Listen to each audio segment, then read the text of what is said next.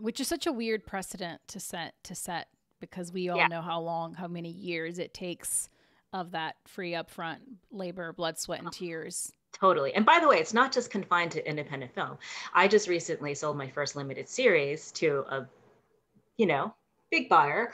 And I was shocked to learn that producers of television series also don't get paid until you're in production. Only the writer gets paid. And I was like, what? Like, how does how you're we're expected to develop scripts with the writer for free? I don't understand that at all.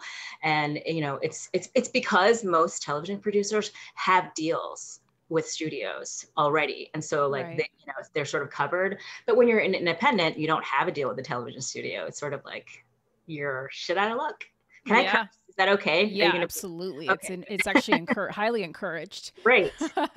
Great. Yeah, we... so, um, I can speak the language of my writers and directors. Um, and at the same time, I'm also sort of like, you know, pretty very organized and like pretty math oriented and business oriented. And so, and I think there's actually a lot of creativity um, in like business strategy as well. Yeah. That I relish. And so I think producing is like the perfect fit for my personality. So. Yeah. So if you had to define a producer, how would you define one? Oh my God, that's so hard to do. Um, the producer is an enabler. It, it, you know, producer is like the wizard behind the curtain uh, who like puts the whole circus together and, um, you know, basically does everything except for write, direct, and act. so, and even in some cases, we have to do that too. Right. Uh, but uh, yeah, it's just that the puppet, the puppet master. That's the producer. Yeah.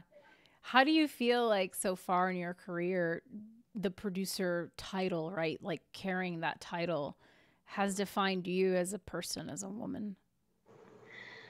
That is a that's a good question. I mean, because it encompasses so many things and so many functions and characteristics. Um, I think that you know, like a producer nurtures, a producer enables, you know, uh, a producer acts as a firefighter and a psychiatrist. Uh, sorry, not a psychiatrist, a psychologist.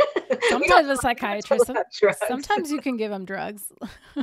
yeah. Um, yeah, and uh, it, and just like you know, multitasks, and you know, yeah. I think you know, they, they, say that women biologically are better at multitasking. Um, so I'm, I'm definitely like yeah, I can basically have two conversations at once. And um, so, yeah, I'm really proud of being a producer. I, I you know, and I, I, it's kind of part of my mission is to to educate people um, like what a producer is, what a producer does, and and how much influence we have on a film.